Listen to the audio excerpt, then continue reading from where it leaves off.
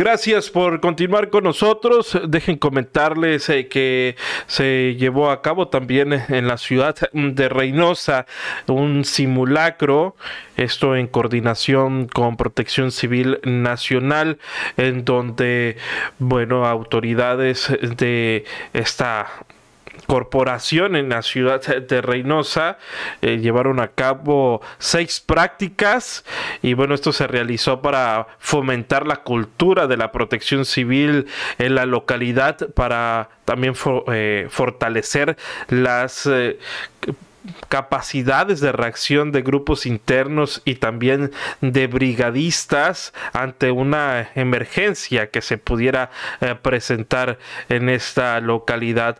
Vemos eh, por supuesto las imágenes eh, que de este de uno de los simulacros que se llevó a cabo en la Comisión Municipal de Agua Potable y Alcantarillado de la ciudad de Reynosa en donde de forma muy atinada algunas eh, ciudadanos que estaban eh, pues realizando los pagos correspondientes a su drenaje eh, participaron también dentro de este simulacro de protección civil.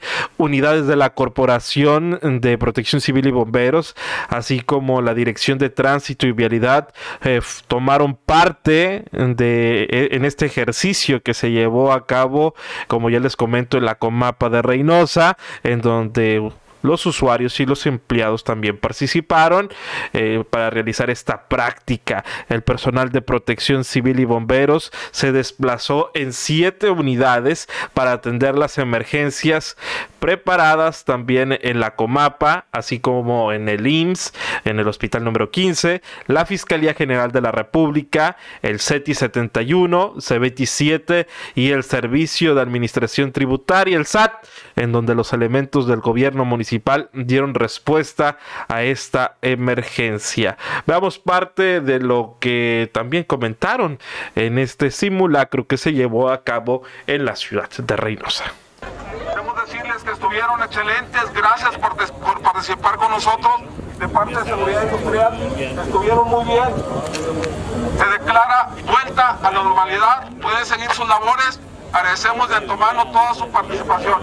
Muchas gracias. Pueden volver a, sus áreas de trabajo. Queremos agradecer también a los usuarios que participaron.